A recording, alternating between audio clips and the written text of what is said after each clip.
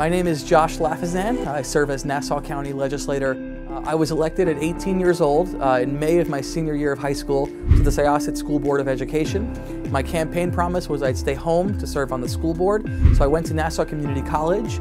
I majored in liberal arts, graduated with my associates, transferred to Cornell where they took every single credit, and wound up for grad school at Harvard. My professors at community college changed my life, and I, so many of them have been mentors. So Professor Webb in speech and debate, Professor Bruckner in astronomy, Professor Thyssen in geology.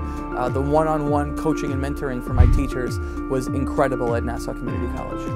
I encourage young students all across Long Island to choose community college as the most affordable, the most flexible, and the best academic choice they can make for their first and second years of higher education.